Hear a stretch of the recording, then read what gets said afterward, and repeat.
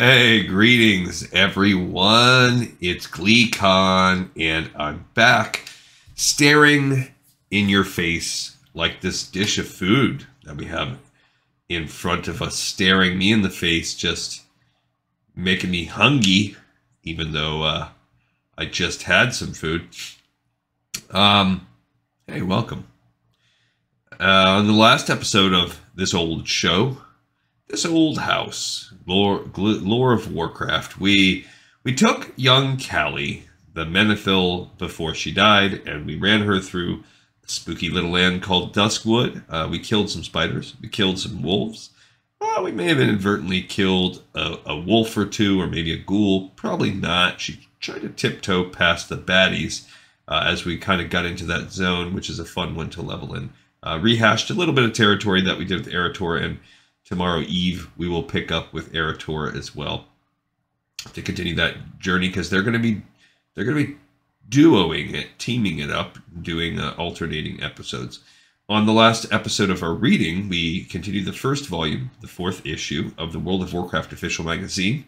Uh, we're going to kick off the final part. I'm going to try to bust out the rest of this one in this episode tonight.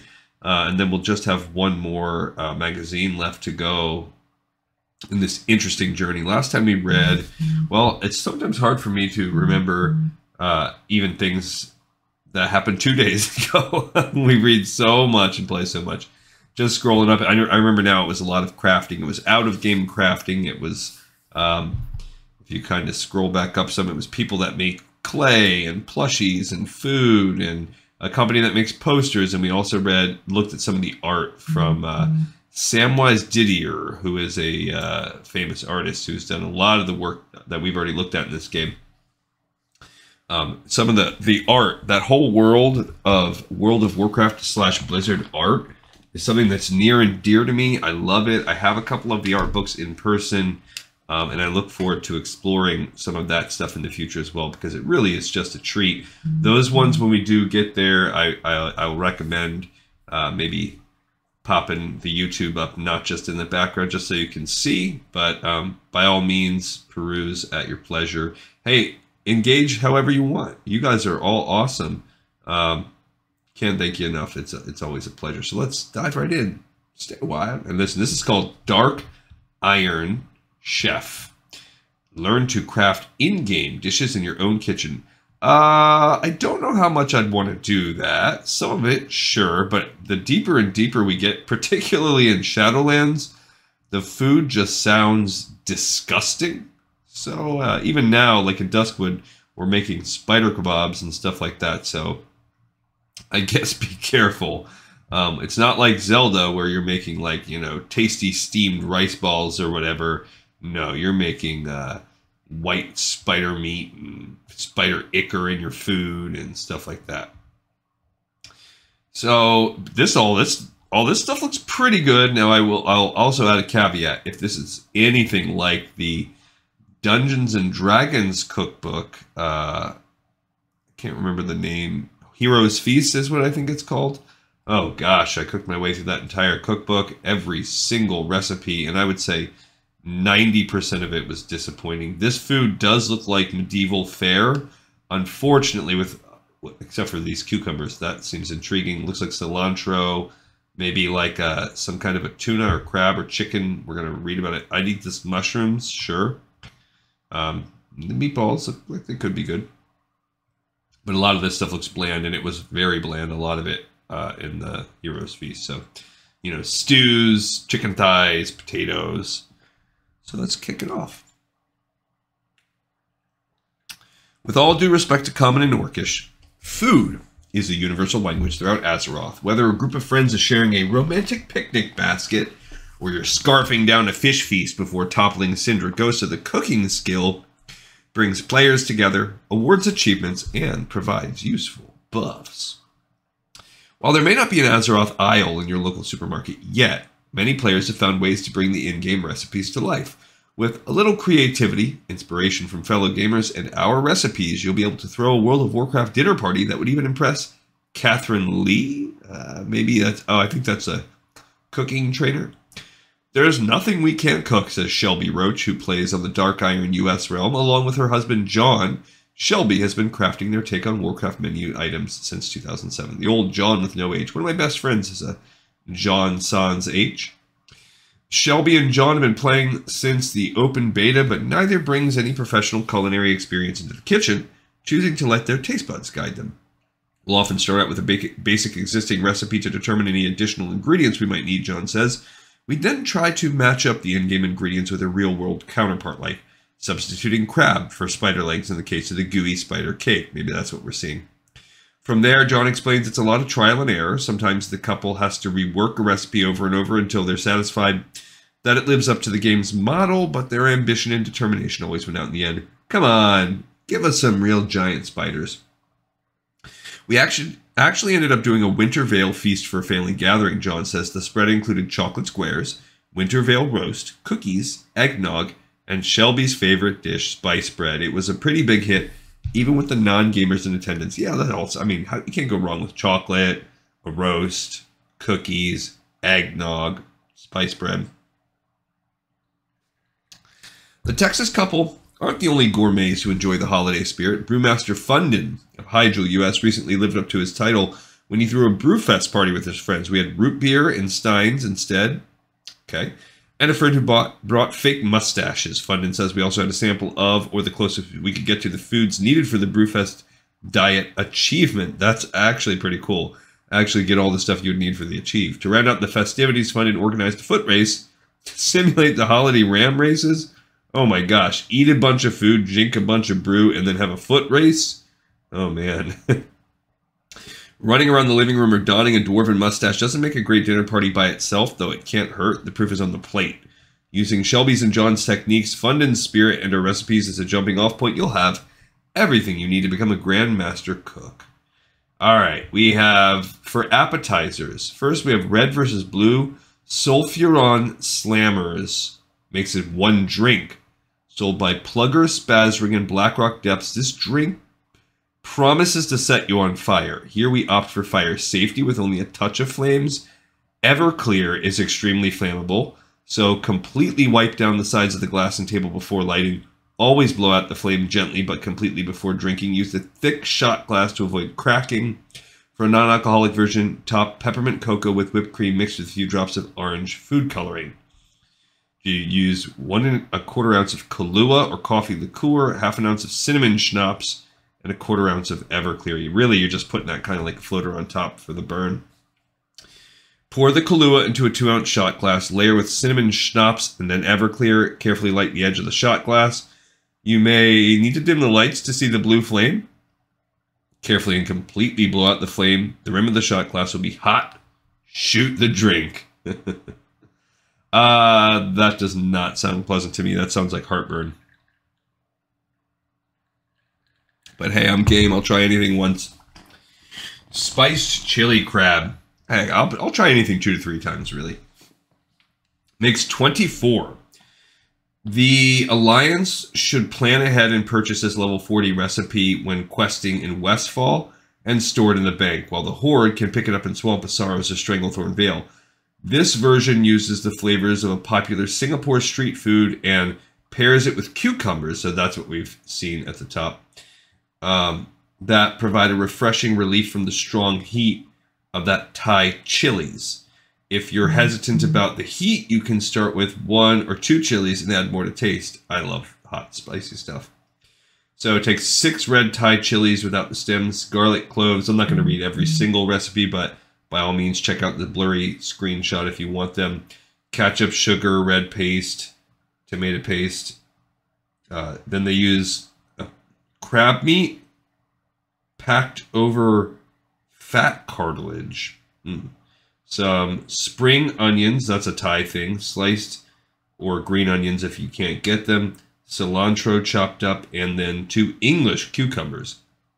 In the food processor, Finely chop the chili and garlic, add the ketchup, sugar, red miso, and lime juice. Puree until evenly incorporated. I missed the miso somewhere in that. Um, I don't even see that on the recipe. Maybe that's the. Yeah. I oh, I see that. It's red miso paste. Uh, wash the cucumbers, drying with a towel afterward, leaving the skin on. Cut them into one inch thick slices. Gently press the cucumber slices with a paper towel to absorb some of the water. With a melon baller or a spoon, scoop out a small crater in the center of the slice about three quarters of the way through. Be careful not to carve through the opposite side. Fill each cucumber with a heaping mound of crab mixture. Sprinkle with remaining cilantro. Can be refrigerated, covered in plastic an hour ahead. Cucumbers will leak water, so do not store on an intending serving plate. That's a good tip. Sounds good. I like crab meat and I like cucumbers, so sounds delish to me. Critter bites. This Northrend recipe gives you control over critters, but our version will have guests, not just turkeys and squirrels, following you around the room. The grape jelly adds a surprising sweetness that pairs with the spice from the chipotle and barbecue sauce. Okay, so it's meatballs. You did ground beef, ground pork, breadcrumbs, little milk, red onion, egg, uh, and then to spice it up and make it more than just a regular meatball, because if, if, anyone that cooks, you can tell that's essential basic meatball with onion, uh, adobo sauce, uh, and chipotle peppers in adobo sauce. You can get that like in a can. I cook with that a lot. Uh, salt, vegetable oil, and flat leaf parsley chopped up. The sauce is just a, any spicy barbecue sauce mixed with grape jelly. That actually sounds pretty good. With your hands, combine the first nine ingredients, the ground beef, through the salt so everything's evenly dispersed. Form the meat into one and a half inch ball, hand rolling with gentle, gentle pressure over medium heat. Barely cover the bottom of the pan with oil. Heat the oil until it's hot but not smoking, working in batches. Add the meatballs to the pan without crowding. Brown on all sides and cook through. Set aside the cooked meatballs. Scrape up and discard any scraps from the pan. Add more oil if necessary and repeat until all the meatballs are cooked. If making ahead of time, sometimes I would leave the scraps in there. It gives a, some char in there. I, I kind of like that sometimes. If making ahead of time, cool to room temperature, then cover and refrigerate. You can make them a day ahead, but then you're going to have cold meatballs. Uh, I mean, people eat that at parties all the time. If refrigerated, bring the meatballs to room temp in a large saucepan over medium-low heat. Whisk together the barbecue sauce and the grape jelly. Add the meatballs, tossing to coat in the sauce, and heat through. Once warmed, Keep on the stove over a low heat, stirring occasionally until ready to serve. Sprinkle with chopped parsley and serve with toothpicks. I don't know about whatever. I think I would make my own style of meatball, however I would want. But I do like that concept of the meat added the heat, you know, to the with the adobo sauce, and then this barbecue jelly. I would I would try that. I would try it. All right, now we're on to the main dishes. This just looks like a straight chicken thigh right here with, over some potatoes. Maybe a little salsa on top, a little homemade salsa. Look, looks like a fruit salsa. Dirge's Kickin' Chimera chops. Oh, it's pork chops, not not chicken thigh. Speak to Dirge Quick Cleave and Tanaris for the quest that will reward you with the only epic cooking recipe in the game to date. Dirge uses hard to farm Chimera tenderloin, while we opt for the easier to find pork chops. However, even Dirge would envy the heat these bring. Goblin Fuel has nothing on the combination of habanero, rum, brown sugar, and pineapple that kicks up the grilled meat. The alcohol in the rum will cook off, or you can substitute a low sodium chicken stock. Yeah, I cook with alcohol all the time and feed it to kids or whatever, and that's just good parenting right there. all right, so the for the rib cut pork chops, that's why they're looking like that. Uh, marinade is vegetable oil, garlic, salt, pepper yeah, put the. Then I'm sure you'd soak the. Yeah, it says in a zip top bag or plastic container, combine the marinated chops, tossing to a coat, refrigerate overnight. I usually use a bag, but I, I mean it's more sustainable not to. For the relish that you're putting on top, there you go. It's pineapple, so it is a fruit kind of relish. They're calling it bell pepper, cilantro, and the habanero. That's like a heat, but it's really more sweet than anything else. And you, you glaze with the dark rum, pineapple juice, and brown sugar. Heat a grill to 450 or a cast iron pan over medium high heat and sear the pork chops on both sides. Scrape off the garlic pieces if you're cooking in a pan so they're not going to burn. Reduce to 400 or medium and cook until the internal temp reaches 160. Cover loosely on foil and let it rest for 5 minutes. While the meat rests in a large saucepan over medium high heat, combine rum, pineapple, brown sugar, stir frequently until the glaze thickens. It just says any dark rum. Pour a glass over pork chops and liberally top with relish. Now, I would have to say what dark rum you're going to use is going to really affect um, what you're eating. Now they have it. It looks like spread over chunks of pineapple. Just looking at it, I wonder. Like I would maybe consider mixing in a couple plantains or something in there too. It sounds, but it looks good. I would eat the heck out of that. Okay, here we got some sprinkles of bread to the side with a picture of definitely just a stew. Looks like a beef stew. Looks like carrots, parsley. Um, I see some darkness. Maybe that's a spinach that got stewed. And then some red onion. They're calling it mystery stew, so we're not, not supposed to know what's in there. Look at this grilled pineapple chips. That looks good. Um, part of the fun in the stew is the variety of ingredients you can use. The surprise in the Desolace recipe and this version is a full-bodied stout that brings depth to the mystery meat. I mean, that's common to cook a stew with a stout. And again, what stout you use or what beer you use when you make your stew really does affect the flavor. Feel free to experiment and make your own by adding potatoes or substituting buffalo meat. Can you even get that? I guess some people probably do.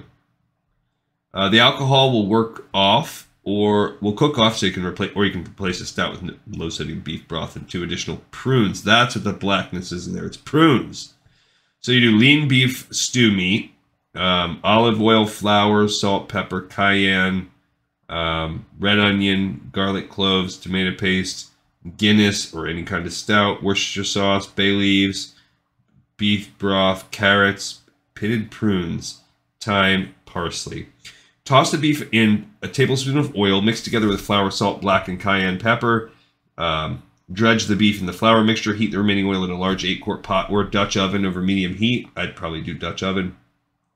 Saute onions, stirring until soft and slightly translucent. Add the garlic and saute for 30 seconds. Add the tomato paste to reduce to medium heat. Cover and cook for five minutes. Add the cup of Guinness and deglaze the pan by scraping up any brown bits with a whisk or a wooden spoon. Add the remaining beer and the next six ingredients through time and stir. Reduce the heat to low and cover, keeping it to simmer, stirring occasionally for two to three hours until the meat's tender and pulls apart easily. Remove the bay leaves, sprinkle with parsley, and serve. Okay. Uh, Sporgar mushrooms. So this is just mushrooms. Six servings. I mean, I for me, I wouldn't eat that raw, like straight. I'd, I'd take that. Maybe I'd eat that with some steak or something. But for my vegetarian friends out there, by all means, I did uh, years and years ago, um, back in my college days. I I went on some dates with a girl who was a vegan, and um, not ashamed to say, I I just no shame in my game was like, yeah, I'll, I'll eat vegan for sure. I went to some vegan restaurants and quite a few times. Uh, but one of the best ones I ever had was like a really nice um, mushroom like steak. It was actually pretty good with vegan carrot cake. It was pretty dang good. Um, I don't trust myself to cook vegan as well as all that, but okay. So in World of Warcraft, these little mushrooms found throughout the Outland and Northrend don't grant a buff and are often vendored. However, here they perk up addition, bring a rich earthiness to the meal. You just need a bunch of brown mushrooms Cut them in half vertically, unsalted butter, salt, pepper, lemon juice, thyme. Preheat the oven to 475. Toss the mushrooms in with melted butter, salt, pepper, lemon juice. Bake in a baking sheet with foil. Place them in a spring, single layer and sprinkle layer and sprinkle with thyme. Bake for eight minutes until they're firm but easily pierced with a fork and serve. I'd, maybe I'd try grilling that instead too. That might add a little bit more flavor. Runn Tum tubers. These tubers, only found within Dire Maul, receive a real world interpretation that makes an underappreciated vegetable and turns it into a showstopper. You can substitute carrots or other root vegetables for the parsnips. That's what this is. These are parsnips. They're not. I thought that was a small cut for a pineapple. Um, that's a grilled parsnip. So you need parsnip, olive oil, salt, black pepper, rosemary, which rosemary does pair really well with parsnip. Okay, heat the oven to 400, line two baking tins with foil, grease the baking sheets with cooking spray or a small amount of oil, cut off the ends of the parsnips, cut into quarter inch slices, toss them with olive oil, salt, and pepper, sprinkle liberally with rosemary, bake until they're slightly browned, and fork them in the center and serve. Okay, we have delicious drinks as well. I try that. I'm not the biggest parsnip guy. Like I haven't, I don't eat them so much, but I've eaten them you know, handful of times, and uh, they're they're good. I've never had a problem with them. Kungaloosh. If you finish the prerequisite quest in Sholazar Basin, the washed up mage and the Dalaran sewers can teach you how to make this fruity delight. I can make that on my main. Two ounces vodka, uh, one and a quarter ounce of coconut rum, like um, Malibu. Basically, three quarter ounce Midori melon liqueur. Sounds like a sweet drink. Two ounce pineapple juice, three ounce orange juice, four cups ice. The the green food coloring if you want to make it look like the green. This sounds like a straight up my wife drink, uh, right up her alley. I might even go ahead and try it for her just for fun. Let her let her try it out. Blend the first six ingredients through the ice, mixing the food coloring for an unnaturally green look. If watery, add additional ice to reach the consistency of a daiquiri. Okay. I got you. So you that's what you want it. You want it to be like a slush. Eh, okay. Non-alcoholic Kungaloosh is a fruit smoothie closer to a milkshake in its consistency and richness. Add the sugar gradually as the sweetness of strawberries will determine the flavor. So instead, you're going to do frozen strawberries, orange juice, pineapple, vanilla yogurt, and sugar. Yeah, that's basically a smoothie. Blend the first four ingredients in the blender until smooth, and then stir in the sugar till it's nice and sweet. Okay. Um, that was about a quarter of our episode. Now we're going to continue with a few features here as we get near to the end. Cautious, the careful path to 80. For most, leveling a character to 80 presents enough of a challenge, but for one stalwart player, the path to 80 wouldn't have been the same unless he did it without dying by Casey Lynch. So this is way popular now. Obviously, you got your own servers. This is basically how to play hardcore. Um, and yeah, you know what? More than anything else, it's about being cautious, not being like particularly skilled. It's about being patient, slow, cautious. Gaining experience, leveling, amassing reputation, dinging. If you've been playing World of Warcraft for a while, you're likely progressed from a gray toting level 1 noob to a level 80 death dealing machine. What you probably haven't done is to attempt to do so without dying. And why would you? There's currently no in game achievement, no title, and no easy way to show off your accomplishment. For Cautious, that's their name, a human protection warrior on the Kirin Tor US role playing realm who's done the deed and lived to tell the tale. That's cool because it's a role playing realm. Going undying wasn't about a quest for glory, he did it to break a self imposed family curse. I figured Cautious would be an appropriate name for a character who never dies, says David Nicholson, the 41 year old web designer from Halifax, Nova Scotia, behind the quasi immortal female warrior. Nicholson created the character with a specific goal of never dying, complete with a meta narrative fit for the Warcraft canon. In my mind, it came up with a mini backstory that involved a family curse which prevented Cautious from being resurrected. Anytime she died, it was permanent, and a new family member with the same name was forced to begin from scratch. So, how does one go about getting to level 80 without dying? very, very carefully. I chose a warrior bit simply because I figured they have the best armor and most health, making them hardest to kill. David invested a huge amount of time in doing it right. In game time was approximately 200 hours. didn't take long for David to discover handy tools of the staying alive trade, specifically some of the perks of the engineering skill. Target dummies saved my neck on countless occasions. My favorite close call was in Howling Fjord doing the quest The Delicate Sound of Thunder. While in a cave on the side of the cliff, I lost my disguise and suddenly found myself being attacked by a dozen or more dwarves. I tossed down a target dummy to distract them, used my nitro boost, this is back before I realized how deadly they could be, to flee to the cave entrance, and then made a mad leap off the side of the cliff and used my parachute to land safely on the beach far below. It's actually so much fun, I almost wanted to do it again. In the end, for better or worse, David says patience is the key. Trying to rush things tends to get you killed. If I felt even slightly nervous in an area, it meant that I shouldn't be there yet. The safest, most boring way of succeeding is to kill creatures eight levels below your current level. Doing just that would, of course, take forever and drive you completely nuts. The secret is finding a happy medium. Right, so mix some exploration and quests in there, but yeah. Essentially, just beat those monsters that right are about to turn gray.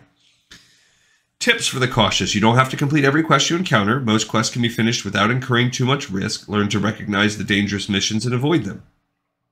Know your environment. If something appears to be too much of a challenge, then give it a wide berth. Accidentally tangling with elite dragons in Alterac Mountains or startling that elite orc who wanders near Honor Hold is a no-no. Avoid instances. Even with a decent party, it's far too easy for things to go south and it's usually an awfully long escape run back to the entrance. Unlike those in other areas, instance dwelling creatures will not give up the chase. Never fight with your back to the edge of a cliff. You just never know when an ogre might have the ability to punt you off the side of a mountain, or when a mage has a spell to blow you off the top of their tower. Huh.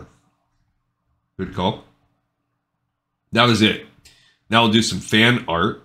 Um, community spotlight. Michael Jordan Punsalan, visions of Azeroth from the player Azeroth from players who live there. I are war chief. That's a cool uh, picture. I do I do like that art style of. Um, oh geez, no, I'm drawing a blank. Even though we've read about him fifty thousand times, the guy who is chief in Cataclysm, Rexxar. No, not Rexxar.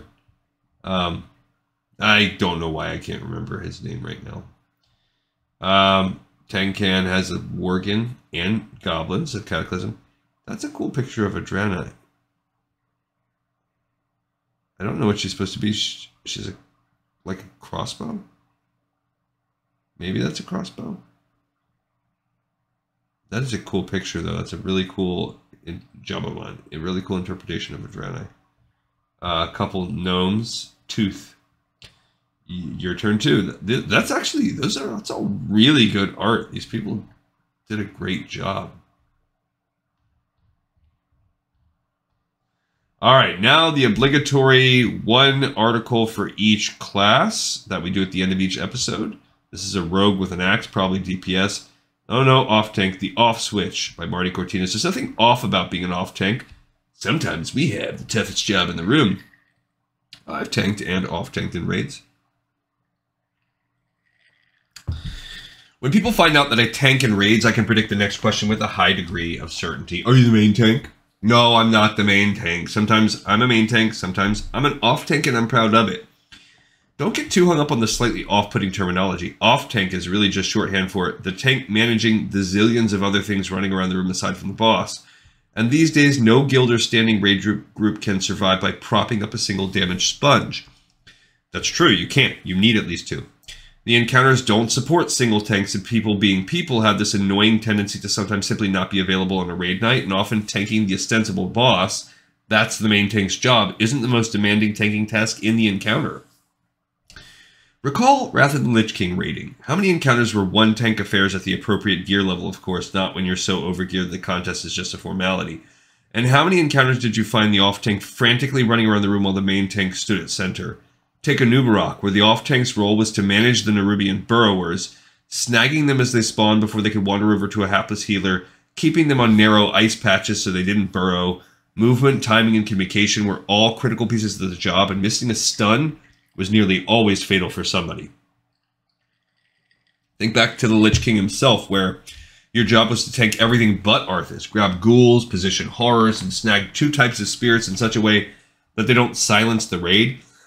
stun Valkyr, watch the Defile, intervene on Soul Reaper, and be ready to taunt the Lich King if the other tank's cooldowns go awry. There's so much to do, so much communication needed that you can't do this without some level of skill. And just straight up, a lot of fights are just constant tank swapping. So the off tank is really just like tank A, tank B. Consider the iron constructs in the Ignis fight. Dragging these little dudes into the fire, then to the water, and not getting blown up could either be amazingly frustrating or hugely exhilarating.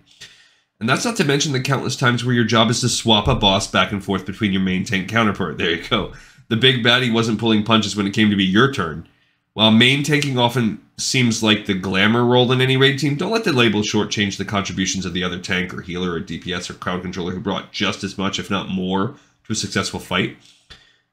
Yeah, and I've been in plenty of raids where even as a as a rogue, as an assassin rogue, it's been like me and the tank left, or me and a healer, or me tank healer. Like that's it. And if it wasn't for churning out the DPS numbers, there you're not going to get past the hard, the, you know, the hard cap spots. Sure, some jobs are harder than others. Some days, raid healers have the weight of the world on their shoulders. Other days, some poor warlock has to play a tricky range tank role but don't get too hung up on who's the main. We're the off brand, proudly. This guy's editor in chief of this magazine, and he tanks as a prot warrior. We'll never let him forget the time he took on the Northrend Beast wearing a chef's hat, or the time he fought Illidan without a shield. So yeah, those I think he actually said that on the last episode too, last issue. Echoes of the Past by Naturama. More than just Azeroth has been shattered by the Cataclysm. How do we survive in a world where all the rules have changed? Check your talents for useful tools that you might have skipped. Maybe this is DPS. The first time you enter a dungeon in Cataclysm, it feels a bit like stepping out of a time machine. The world has changed, and the way we handle dungeons has been completely overturned from the way things worked in Wrath of the Lich King. In order to survive in the present, you have to look to the past. Take a deep breath, think back to the very first dungeon you ever entered, the anxiety upon encountering the bosses, the exhilaration of the first loot drops, the challenge of managing threat and crowd control. Well, those days are back. This, of course, also means that we as damage dealers have to keep some things in mind that may have been forgotten during high speed dungeon runs in Wrath of the Lich King. The dungeon philosophy in Cataclysm revolves around control. Our area of effect spells are downplayed in favor of more emphasis on crowd control. This requires a more tactical view of the dungeon's denizens, as tanks need a little extra time to mark the kill order and avoid patrols before pulling it in. Give them that time, and your run will go a lot more smoothly. I mean, that's just freaking instancing 101. King is a crowd control. Every class now has some form of crowd control to deal with larger packs of mobs, getting a few of them out of the way while others are being killed. Trap, Sap, and Polymorph are useful as always, while new glyphs ensure priests and warlocks don't send mobs in all directions when using their fear effects. Paladins can also lift their Holy Wrath ability so that it stuns Dragonkin and Elementals, which are big players in Cataclysm. Remember that many tanks have had their ability to manage large groups of mobs reduced to make crowd control more appealing. That means it's best to let tank control the pull and to practice your control abilities, which is like the opposite now, where threat's not even a thing. I guess that's that's true. So I guess threat's not a thing now, but but crowd controlling is still super important. That's like the main way you're contributing to the overall like defense of the fight if you're not a tank.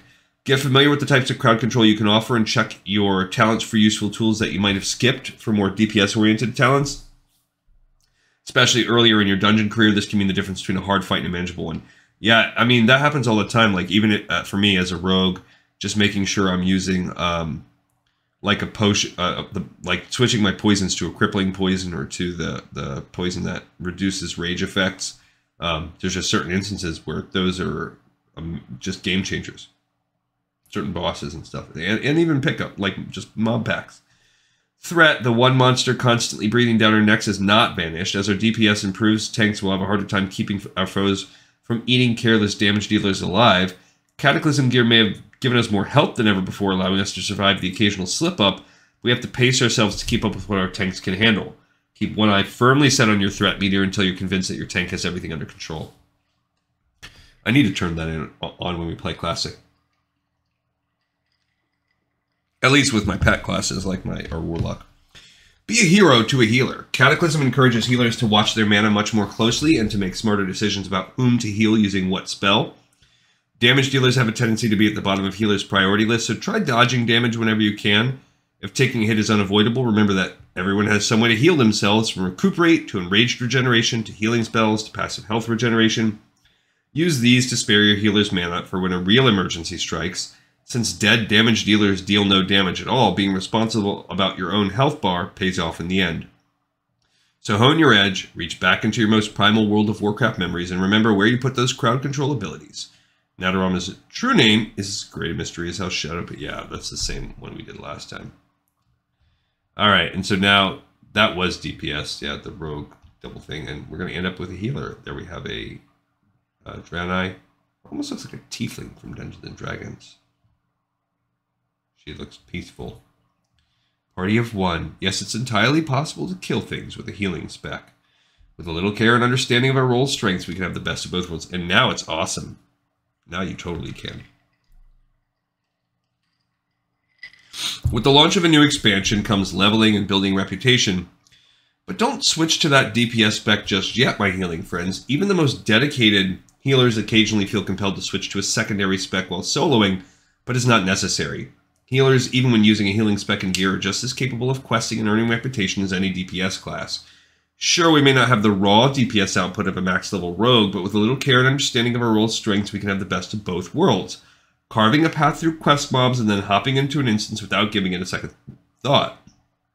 When soloing as a healer, I recommend kiting targets, avoiding damage, and using a bit of hit gear.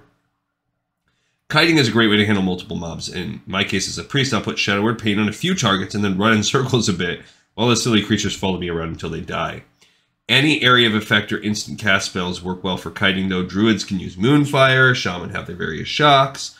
Paladins are in a slightly different situation since they wear plate and have more limited spell damage options, but they can still use Consecrate and Holy Shock and take more hits than the rest of us while doing so.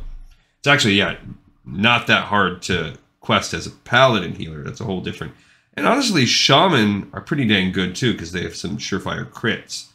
Um, druid healers, I mean, at least you can switch your form. It's meh. They they used to be terrible. They used to be the worst in the world. You're stuck with wrath, barf. Ugh. But now they're actually pretty good. For non-paladin classes in particular, a big part of successful soloing is avoiding being hit. Fortunately, we healing types have some tricks to help us accomplish this goal. Priests can use Power Word Shield. Mm-hmm. You saw me doing that last night with Callie a lot. Psychic Scream. Druids have entangling roots in Nature's Grasp. I'm already getting into that on my uh, Druid. I've been playing around on Season Discovery. Shaman can drop an Earthbind totem. Paladins are being pummeled can use the bubble or protection spells. Yeah, that's more like an emergency for them, though. When I'm soloing, I have to remember to heal myself. I tend to get so focused on what I'm pulling, where I'm kiting, and how healthy my opponents are that I easily lose track of my own health bar. Slowly dying as an able bodied healer is a very ironic death, and quite an embarrassing one. Don't make my mistake. Keep an eye on your own health bar too, not just your enemies. The healing to spell power conversion implemented in Wrath of the Lich King helped healing spec soloers a great deal, as Cataclysm's intellect to spell power change does now. intellect is almost on almost every piece of healing gear now, and each point obtained is another bit of damage done to your foe. There's an additional benefit. Damage spells are frequently expensive to cast for healing spec characters, and having a larger mana pool can be very useful. That's true. Critical strike and haste ratings are helpful as well for both healing and damage. This means that most of the cru crucial damage stats appear innately on healing gear, but there's one area where we fall short, hit rating. A low hit rating means your spells are more likely to miss, wasting mana and effort. This won't make much of a difference if you just need to kill one mob, but during a long soloing session, throwing on a piece of hit rating gear can help speed things up. Takes a bit of extra thought to solo quests and reputation mobs in a healing spec, but I find I get a greater satisfaction for that effort. I can use the gear and spells that I know so well and be prepared for any sudden healing needs. And hey, if we all wanted to, if all we wanted to do is demolish everything in our path, we wouldn't be playing healers in the first place. I tend to like to do that too, to not switch my spec and just tough it out.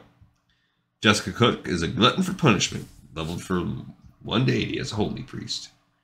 All right, so we've just got a few pages left. This is probably our, we got a couple little bitty articles here.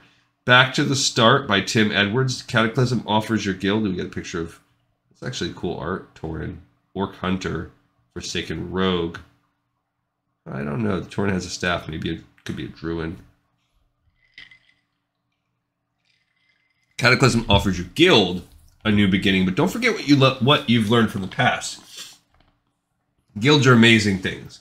Leading a great guild is a privilege and an honor. Being in a guild is the most fun I've ever had in a game, and I can't wait to introduce more players to that experience in Cataclysm.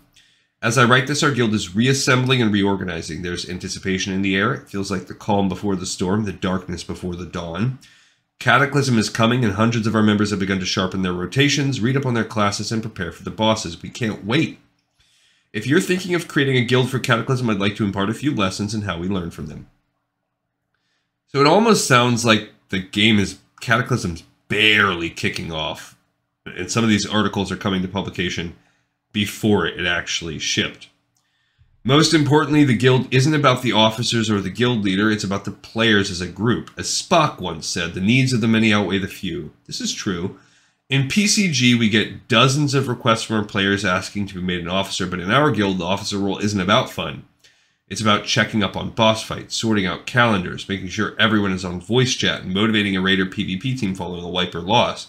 We ask our officers to be servants to the community first, leaders second. The second point all of World of Warcraft players have the fundamental need to have fun and feel rewarded for their effort. The game has dozens of reward mechanics, including experience, achievement points, new gear, dungeon tokens, loot, the guild should be about the fun part. If you ensure you have a fair loot system, oh god, what did we do? And you rotate players in and out of your activities fairly, World of Warcraft's own systems will motivate players to take part and to enjoy themselves. The third point consistency rules. When we first started raiding, our groups were ad hoc and we didn't settle on repeating raid nights. This was a major mistake. It took us months to progress through Naxxramas. Kel'Thuzad kicked us to hell and back, but once we said, 25 player raids would take place on Sunday and Tuesday nights. Players started setting aside an evening to focus on a fight. Our roster solidified. We shared the experience, shared the learning, and our progress was slick. The fourth point, we want to support good ideas. Given our shambolic first attempts at 25 player rate, uh, rating, we were prepared for our newly toughened raid teams to quickly demand 10 player raids too. At first, we didn't create a structure for them to play within. It was an equal, if more dramatic, shambles. Players saved to one raid would be recruited to another. Healers and tanks were in high demand. Groups fell apart before they'd even finished forming. we decided to formalize 10 player raiding. Groups owned by player leaders would select a night to raid, calling themselves Team Awesome or Team Win. They worked on their own, with or without officer input. Their success was staggering. And finally, expect to fall in love. I just just cut that and like make that like a poster to put. Screw all the rest of everything else. Just expect to fall in love. I like that. Like it's a life mantra. What I love, what I can't get over is just how many friends we've all made. Now at night when I'm not playing World of Warcraft, I'll log on to voice chat, not to talk, but to listen in, to hear and celebrate our progress, to listen into their jokes and their casual teasing. Because the most important lesson is that a guild is a group of friends. And if you respect that, shared victories and failures will become unforgettable. So he's this is the PC Gamer editor in chief that writes that. All right, last actual article of the issue. The world isn't ending. From Bashiok, community manager and a lover of Mexican food.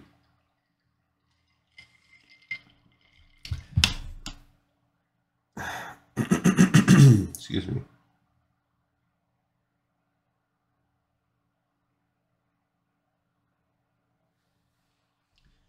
Well, it is, or rather, it did. But that's not what I'm talking about. Cataclysm has been released, the world has been shattered, and as people level their characters, create goblins and worgen, and dig into the new dungeons and raids, one thing should be clear this ain't Wrath of the Lich King. In Cataclysm, the dungeon and raid philosophy has further evolved, just as it did with each expansion before it. While Naxxramas, Wrath of the Lich King's first raid dungeon, had a fairly low barrier of entry, and Wrath's heroic dungeons could be readily bested if your group had a basic understanding of the boss mechanics. Cataclysm's dungeon and raid game is a different beast. With an overall boost in difficulty, more purposeful pacing of gear upgrades, and increasingly complex fight mechanics, it's more important than ever for players to understand their class's abilities and mechanics. And skills like crowd control are all but a necessity, even in heroic dungeons. Wrath of the Lich King made raiding more accessible to a wider range of players, but Cataclysm closes around raiders with a scaly black claw and squeezes them tight. The intent is not to create joyless, soul crushing content. In fact, the goal is quite the opposite. While raiding in the original game and the Burning Crusade may have ultimately proven too demanding, Wrath of the Lich King swung the difficulty pendulum too far the other way. With Cataclysm, we're attempting to find a balance that ensures that the game is challenging to a point where victory is achievable, but not so difficult that raids are a daunting experience to anyone but the hardest of the hardcore. Yeah, and I don't think it's quite like that with Classic now. Somewhere in the middle. One major catalyst for the philosophy shift was that in Wrath of the Lich King, players lost their sense of accomplishment too quickly. Most players were able to roll through dungeons as they leveled, completed most heroics with little difficulty, and in many cases jumped straight into Naxxramas with little, little or no preparation and were able to progress fairly well without much need for coordination. The opposite can be true as well, of course. If content is tuned to be too difficult, a group of players may eventually feel they have no way to progress, leading to frustration and discouragement. The goal at the endgame in Cataclysm is to find that elusive middle ground. Take note, you will die, your groups will wipe, probably over and over, but each wipe should teach you a lesson and give you something to improve upon. We want Cataclysm's challenges to be surmountable, but we also want to make sure players need to take their time to learn the encounters, understand them, and work together to overcome them, and feel like they've accomplished something great when they finally do. World of Warcraft is never going to be perfect. There will always be class adjustments to make and bosses to balance, but each expansion, each raid, and each encounter teaches us another valuable lesson, and we'll continue to make our changes with the cataclysmic goal of difficult but achievable in mind. We believe that the sense of accomplishment you'll feel when you finally do achieve that goal of a boss down or a wing cleared will make it all worth it. You'll celebrate with your group, feel proud, and know that Deathwing is that much closer to the blade of your sword. I have to say, when they say that, you know, it's never going to be perfect, Blizzard's just not going to get it perfect. Um, they just don't. right now, uh, for an example, I'm playing Diablo 4. I wasn't blown away by season one. Um, it was okay. Season two has been a lot better. You feel good. Um, it's an improvement. And then they just put this patch out yesterday or today, and it's a nightmare. It's it, they put it out today. They did the biggest mistake ever. You spend so much time. The majority of your end game is leveling up your glyphs. It's like the last thing I'm working on before I've completed every season goal. And you have to get five of your glyphs, which is basically the max you can have equipped uh, of your Paragon glyphs to max level, which is 21. And I had like four out of my five glyphs maxed out. And then they did this patch, which was going to make leveling your glyphs easier by increasing the XP of every run. But they increased the amount of XP that it would take to level your glyphs at the same time. Like, what, what the, what the absolute heck? I, I can't, I just can't fathom why you needed to do that kind of calculus. Why mess with it at all? Because what they did and what it did was de-level all of my previously max level glyphs. So it's not like they're retroactively giving me the XP. If things were supposed to be easier and it all should have shook out about the same if you were going to max out your your glyphs, they should have just let you keep your previous levels of glyphs because then you know whatever you, you if if it was going to be quicker now okay you already put in the work but instead it's like the worst of both worlds my character is now de-leveled in power, lost a lot of his his end game power. I now have to go back previously maxed out glyph, glyphs and grind multiple dungeons to mm-hmm. fix them. So it's going to take me at least 20 nightmare dungeons probably uh, to max them all back out just to where I had it before, even at this new higher rate that you get. So It's very frustrating. And they say, well, you can just make it up so fast with this new thing. Well, I haven't done, I haven't unlocked that yet because I need to complete one more season task. And that was my last one that I was working on. So it's just, it's, it's the dumbest idea. Never, ever, ever, ever, ever should you push out a, sure, nerf things, whatever. Never should you push out a patch that de-levels your people. It's not like the stat squish where this is a new max level across the board and then you're going to now progress through a new expansion. They just they just de-leveled you and now you have to regrind the XP to get back to where you already were. That is the worst. Also, just do better math. Just do a different equation. If you want the whole grind to ultimately be the same, don't freaking change it. Or just change the XP requirements for the first pieces, but not the end pieces. Don't change the max total number of, of XP. It's just the worst. It just the worst. It's sorry. That's my rant for the day. Like, I'll get over it. It's there's still plenty of time left in the season. Um, but it's it's it's just an example of I, I just don't know who thought it was an idea a good idea. And if they didn't realize, they're like, oh, we're working on a fix. There's no easy fix for that. Um, and they said they push it out on PC today, and then at consoles they'll somehow push out. Just don't. Just if you can't make the the deadline, don't make the deadline. And like someone should, someone's job should be on thin ice for this kind of thing. It's a bad move. It's just a bad move. Like all the good grace that they've they've accumulated so far this season, they've burned. All right, well, let's finish up our issue now that my rant's done with uh, Gnome versus Goblin second ep here. We've got a goblin here. He's going to start a race between a looks like a trike and a rocket bike, firing the gun. The gnome whistles. As he's whistling, boom, the gun goes off, and the goblin zooms out on his ro- rocket before the second half of the word bang comes out. The gnome is watching on his trike. The goblin is laughing. He's almost at the finish line when the gnome puts his goggles on, sights up his scope, presses the button, and then clicks something just in time to I don't know what he's doing. Using a gravity reverser, and the, the goblin screams, yeah, and he flies up into the air, in which case he slowly pedals his trike, the gnome does, across the finish line where the goblin explodes in midair. Here's the back cover. Oh, that's actually a very cool Blood Elf Paladin. That says next issue. You get that one, and there's the back cover. So next issue will be our final issue. And uh, this one in the Pipe 5x5. Thank you guys so much for watching, for listening to me rant. And I'll see you on the next episode of Lore of Warcraft. Peace out.